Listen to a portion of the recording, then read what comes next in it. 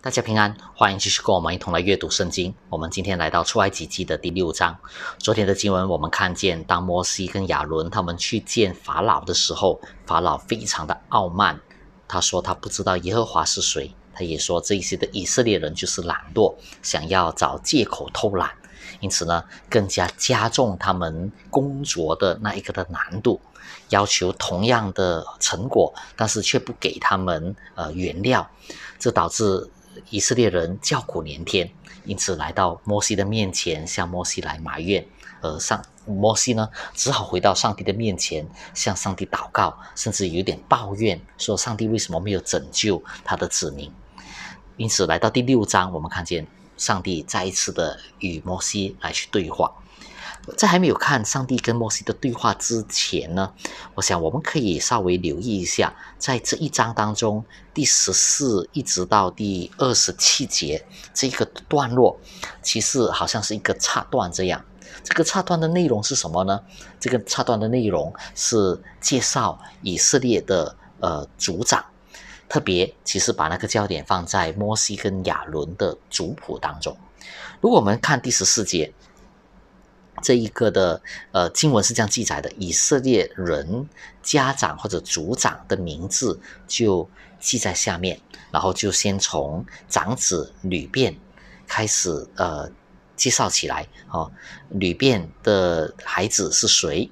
然后第十五节介绍另外一个呃另外一个支派啊西面的儿子是谁？然后再下来呢就谈到立位，我们发现到。其实家谱就在立位支派当中就发展开来，然后就没有再介绍其他的支派了。因此，这一个的家谱其实不是一个完整的家谱。这个家谱在这里的目的是什么呢？在这里的目的是要介绍摩西跟亚伦，因为在立位支派继续往下走的时候，就提到呃摩西跟亚伦他们的家族啊呃从从那里来。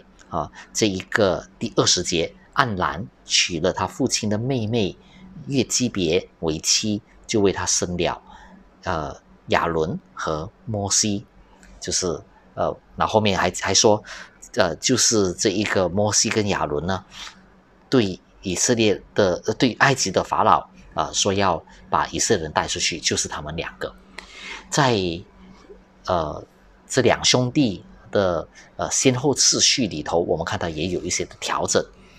在呃前面呢提到说，呃，刚才我们所读到经文哈，生了亚伦跟摩西第二十节，在后边也提到呃亚伦跟摩西第二十六节的结尾，但是在第二十七节的时候把这个次序给倒转了，就是摩西和亚伦。那为什么会有这一个的倒转呢？很明显呢，呃，摩西才是那真正的领袖，那并不是亚伦。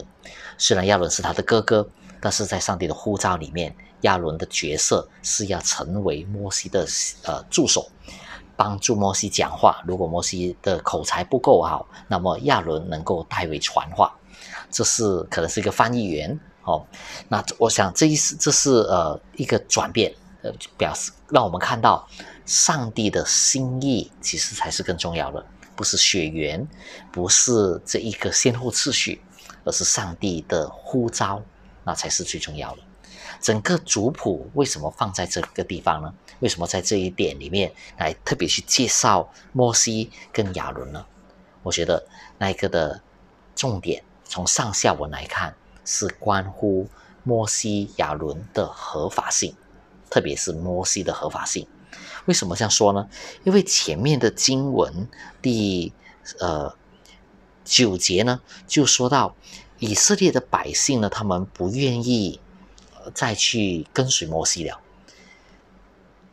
上帝虽然对摩西说话了，然后摩西就去找以色列的百姓。第九节，摩西把这话告诉以色列人，但是他们因心里愁烦。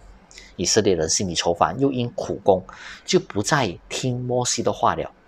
以色列人选择不听摩西的话，然后第十二节跟三十节都让我们看到摩西似乎有一点信心动摇。第十二节，摩西在上天在耶和华面前说：“看呐，以色列人尚且不听我，法老怎么会听我这不会讲话的人呢？”这在第十二节。然后在经文的结尾第三十节，摩西在耶和华面前说：“看呐，我是不会讲话的人，法老怎么会听我呢？”很明显，摩西的信心是否受到打击？因为他前面呃的举动，导致他的同胞以色列人现在面对更多的困难，而这一些的压力回到摩西的身上，他是非常的苦闷的。现在以色列人不听他的话，上帝还要他去跟法老说话，那怎么行呢？如果我的会友呃不跟我都都不愿意呃。呃，听这个主理牧师啊，如果弟兄姐妹都觉得说这个牧师不配做我们的牧师啊，这样子，我怎么好意思去别的教会讲道，然后教别的教会，那怎么样来去一起侍奉神呢？那没有面子了嘛，对吧？在自己的教会不能够动员弟兄姐妹，怎么去到别的教会去动员弟兄姐其他教会的弟兄姐妹呢？这是摩西的那种情况，以色列人不听他，他怎么可能去跟法老说话呢？因此，这个家谱在这里，其实我觉得就有一种合法性的那一个的角色，上面跟下面都穿插着摩西的失去了信心。然而，中间的这个家谱，那我们看到摩西也是以色列人，是以色列人的后代，是立位支派的。他不是外人，他就是以色列人。他对以色列人的感情，那是真的。他要救以色列人脱离埃及人的手也是真的，他以色列人所受的苦苦楚，他能够完全的明白跟了解，因为他也是以色列人的一份子。我觉得这是这个家谱在这个地方，呃，很出现的第一个重要的原因，合法性。他面对的背景，上下文的背景就是摩西失去了信心，但是身份的合法性那还不足够。还有第二个更重要的是什么呢？是上帝呼召。我们可以说这是神圣的合法性。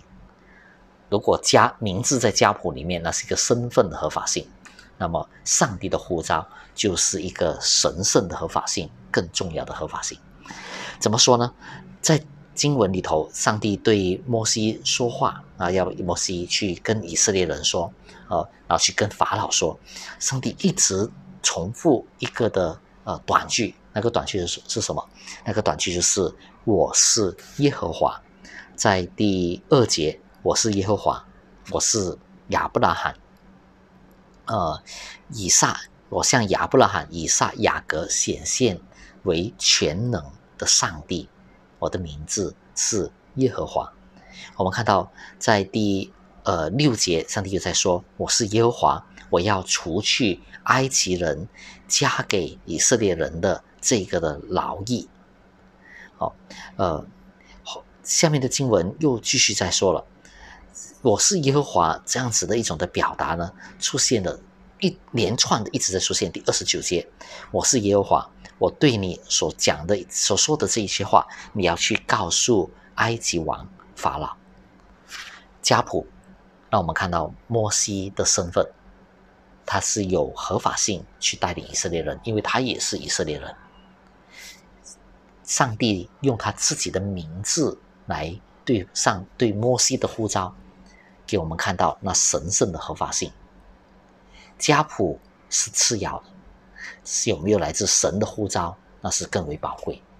摩西必须认识这一点，他是上帝的仆人，他是被上帝所呼召。要去带领他的百姓离开这残酷的法老王的手。我们看见，这是上帝在摩西软弱的时候给予他肯定。弟兄姐妹，有些时候我们也会软弱，有些时候我们也会失去信心。然而，上帝是纪念我们的神。当上帝唤醒我们的时候，当圣灵在我们的心中，呃，呼唤我们的时候，让我们。快快回到神的面前，不要纠缠于我们自己的软弱，我们要看见上帝的能力；不要纠缠于我们自己的过犯，我们要看见神的赦免。回到他的面前，祈求神的饶恕，然后看见抓住神给我们的意向，继续的来服侍他。我们同心祷告，天父上帝，我们有时信心软弱，但谢谢你，你从来没撇抛弃我们，你也不会放弃我们，让我们走在你的心意当中。奉耶稣基督的名，阿门。